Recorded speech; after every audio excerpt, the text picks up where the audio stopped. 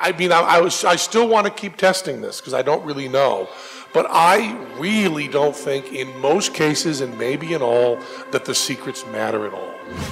So let's test it and correct Derren's error with a proper and to date most detailed explanation of the lottery prediction trick.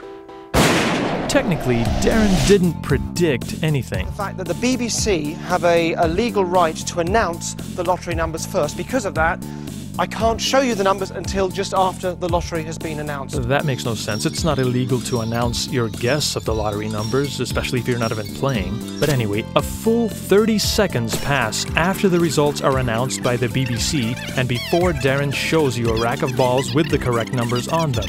All this required was to ensure that those known numbers are on the balls by the time he turns them. And this was achieved with a video effect which could be labeled split screen. But this is an oversimplification. It's actually a lot more involved than that.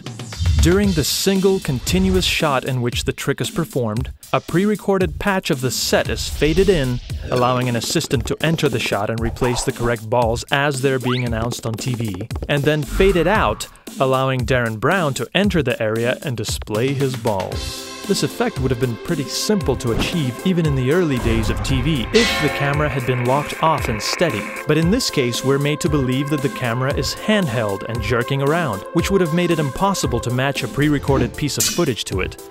And this is what's at the heart of the realism of this trick. This movement isn't digital. You can see the perspective distortion as the wide-angle lens rotates around. So how was it done? Let's start from the beginning. Derren begins his presentation outside of the set and walks in. This was necessary to accommodate an important switch. A switch from the live cameraman to a different means of camera support. A motion control pan and tilt system in which the panning, tilting, and zooming is controlled robotically. Though they're highly specialized and expensive equipment, these systems are widely available and used in television to remotely control cameras on large sets and to facilitate camera movement with virtual sets. Operated with a joystick, gears, or a virtual panhead, motion control systems can precisely record an operator's movements and recreate them later. In fact, it looks like two of these systems were used in the trick. One controlled the wobbly camera capturing these brief wide shots, in which the second system, positioned and ready for the main shot, is hidden with yet another patch image of the empty set. By examining frames from the main shot before and after this cutaway, we can see the obvious differences in the angle. And after the cutaway, the camera shakes no longer have any bank rotation. It pans and tilts, but stays perfectly balanced throughout. Before Derren's broadcast ever began, several minutes of an empty set were filmed with random camera movements fed into the motion control system, which recorded them. Then, during the broadcast, not only was pre-recorded footage of the set played on part of the screen, but pre-recorded camera motion was played into the camera mount in precise sync, creating a seamless, live moving composite.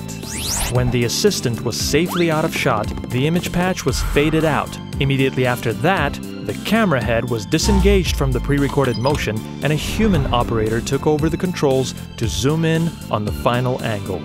So, to review... Uh, but it's been fantastic reading all the conspiracies and speculations around at the moment. Lasers writing numbers onto the balls and moving them somehow, and split screens and balls with special LED readouts, and impossible sleight of hand.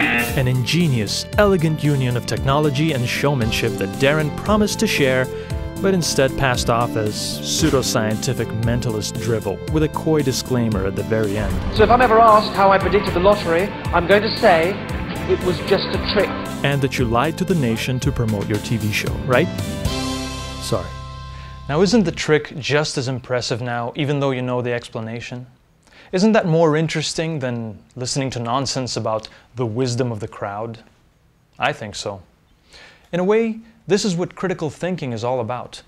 Learning as much accurate information about the world around you as you can, so that you may truly appreciate it for its beauty and complexity, as it really is.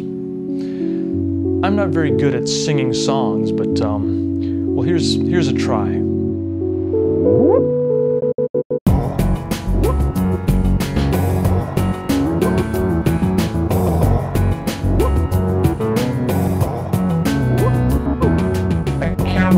isn't a perfect device, so how about a little spring cleaning, raining photos and videos of would-be ghosts? That would've been cool. But you don't need to make stuff up to get some personal attention.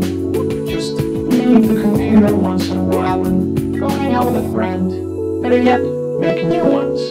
Half smart is not smart at all. It's just smart enough that you can be sucked in and completely eaten up by these, these, these fakers out there. A shining, glorious dawn awaits an awakening of the human mind. Rational thinking, science and reason reign. And then someday. A more glorious dawn awaits, not a sunrise, but a galaxy rise. A morning filled with 400 billion suns. The rising of the Milky Way.